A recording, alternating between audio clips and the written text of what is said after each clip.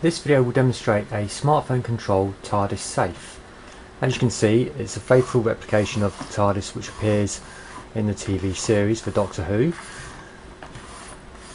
and it has one unique feature.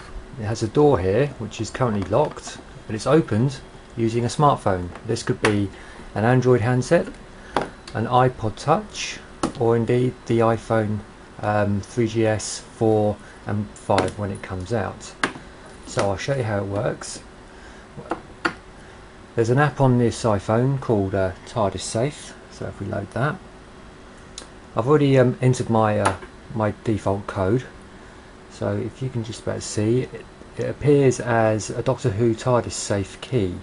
So the way this works is I insert the iPhone into the top port of the TARDIS, the blue light comes on to say it's activated, and now I enter my um, code which is one, two, three, four. When I press enter, the door is unlocked.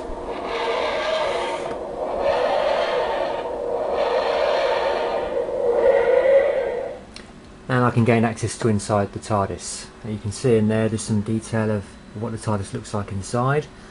And the, the light on top um, glowed as if it was uh, taking off.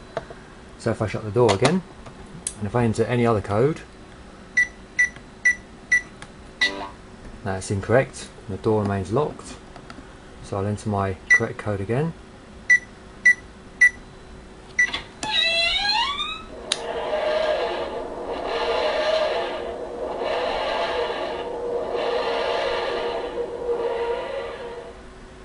Okay, and that's a basic overview of the smartphone controlled TARDIS safe.